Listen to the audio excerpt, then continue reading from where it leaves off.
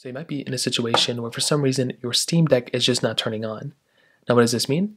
Well basically within your Steam Deck, you know that basically in order for it to turn on, you have to have some sort of battery life or some sort of power inside of your device. So the very first thing I'd recommend doing for the most part is to go through and actually make sure that within your Steam Deck, you are actually charging up your console as much as you can.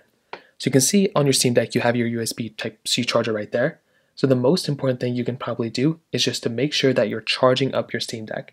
If you're clicking this power button up here and your Steam Deck is just not turning on at all, again, the main reason that is actually happening is usually due to your specific device just not having enough power inside of it. So just make sure your device is charged up. That is number one. Number two, make sure that your Steam Deck power button isn't actually faulty or that it's actually not giving you some issues. So for one, click the power button one time. You should be able to hear it turn on. If you're not able to see the display turn on even though you clicked on that button, try clicking it a little bit harder. So you may have to tap it a little bit harder, maybe hold it down for like a tenth of a second. So hold it down, let it go, and you want to see if that ends up fixing it too. Chances are there's a big chance that might happening that might happen as well. So that's another thing you're going to have to try doing. In my opinion, that is by far one of the most important things you can try, and that is again one of the big things you can try doing here too.